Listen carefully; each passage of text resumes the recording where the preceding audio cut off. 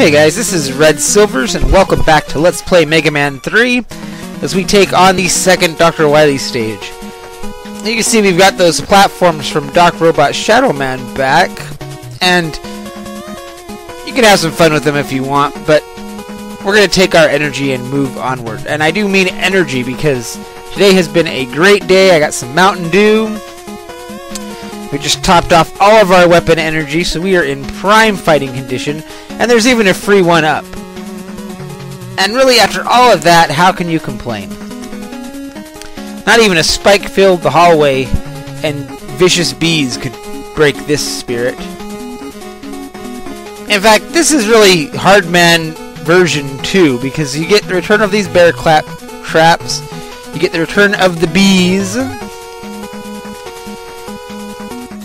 and the same despawn trick. Oh, that was dumb. And that energy right there is a trick. So we'll go ahead and just top off our final sliver of RJ because that's when a bee is going to come in. And RJ is the one to use anyway because we're in an obligatory rush jet section, complete with and all the energy you'll ever want. Enough energy that I'm actually going to leave some on. The idea being that if I die, I can pick up some. Not that I'll need it. Because we're heading into the boss fight now. Very short stage. Some people have commented that yes, Mega Man 3 Wily Castle is probably the one of the easiest in the series.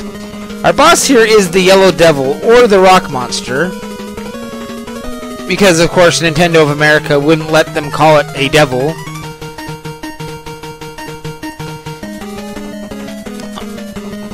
And you have to aim for his eye with the hard knuckle.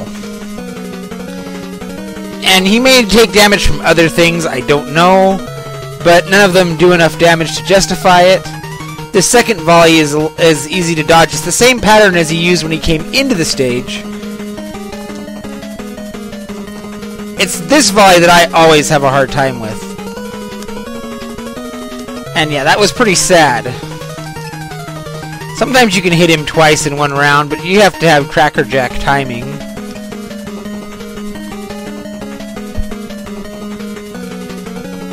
And hopefully I won't have to use an E-Tank here. I have this tendency to get a little cocky and... Yeah, we got our dodge coming up here. I'm sure other people could do this without dodging, without any problems, but I'd rather not mess it up. And of course, that's that. So, until next time, this is Red Silvers. Have yourself a good night.